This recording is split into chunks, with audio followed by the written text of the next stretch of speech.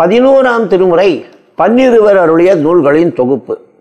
இது மொத்த பாடல்கள் ஆயிரத்து முன்னூற்று எண்பத்தி நான்காகும். திருமுறையின் முதல் பாடல் ஆலவாய் உடையார் அருளிச் செய்த பாசுரமாகும். சிவபெருமான் மீது ஏற்றப்பட்ட பாடல்களோடு முருகப்பெருமான் மற்றும் விநாயகப் பெருமான் மற்றும் அடியார்கள் குறித்த பாடல்கள் கொண்டது பதினோராம் திருமுறையாகும்.